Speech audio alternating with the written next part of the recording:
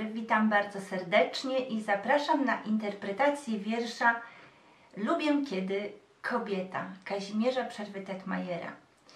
Nadal y, będziemy y, mówić na temat y, Schopenhaueryzmu i dekadentyzmu, ale w nieco inny sposób i myślę, że może Wam się spodobać.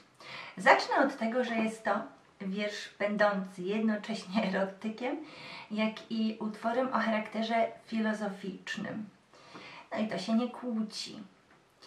E, tematem jest y, przeżycie aktu seksualnego, mówiąc y, językiem biologii, a bardziej literacko przeżycie rozkoszy przez kobietę w objęciach mężczyzny.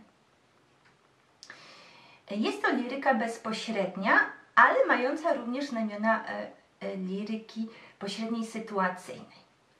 Poemat liryczny bowiem wypowiada się w pierwszej osobie liczby pojedynczej, ale nie mówi o swoich e, przeżyciach, tylko o przeżyciach swojej partnerki i jest tam zarysowana konkretna sytuacja.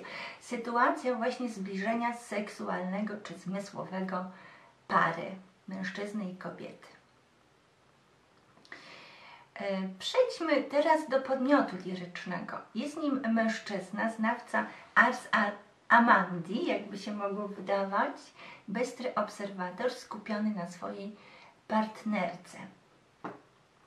E, jest też tam bohaterka, właśnie ta kobieta i właściwie wiersz stanowi opis przeżyć tej kobiety, przeżyć związanych e, z całą tą sytuacją, nie zachowań zewnętrznych, ale także przeżyć wewnętrznych, związanych właśnie ze sferą zmysłów, zaspokojenia seksualnego.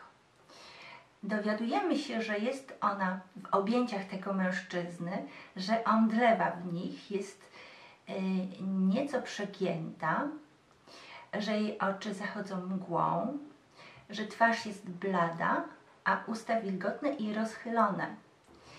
Następnie wpija się w, y, w ramiona tego mężczyzny, zaczyna oddychać urywanym oddechem, w końcu uśmiecha się, no i pada y, zmęczona obok niego.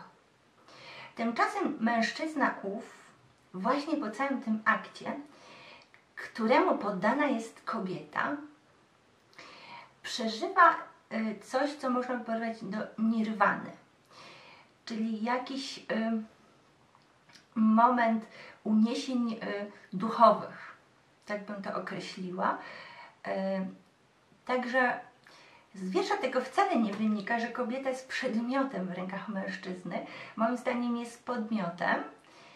Jeżeli mamy na myśli przeżycia czysto zmysłowe, bo jeśli chodzi o przeżycia duchowe, no to tutaj mężczyzna niejako jest poddany tym, tym przeżyciom i on ma właśnie satysfakcję w sferze emocji ducha, a nie w sferze y, zmysłów. Przejdźmy do tej filozofii Schopenhaueryzmu.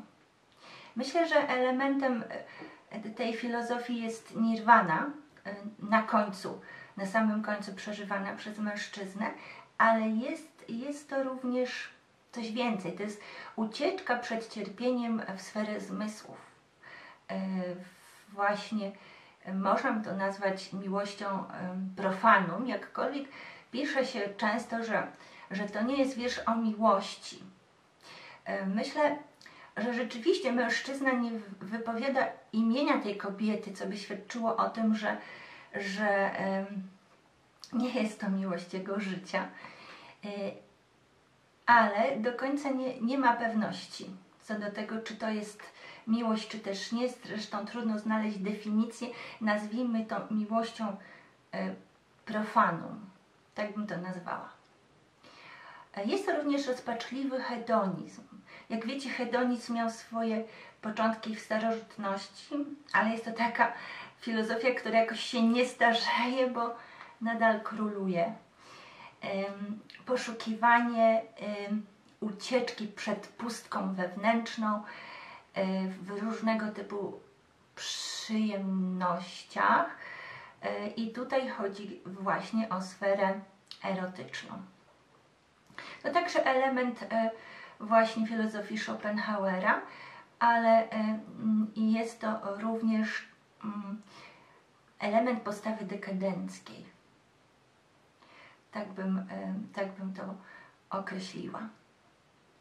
Myślę, że wiersz ten jest wart przeczytania, jak wszystkie, które omawiam, że można go poddać dyskusji. Chciałabym usłyszeć, co na ten temat mówią nauczyciele poloniści w szkołach i co sami sądzicie.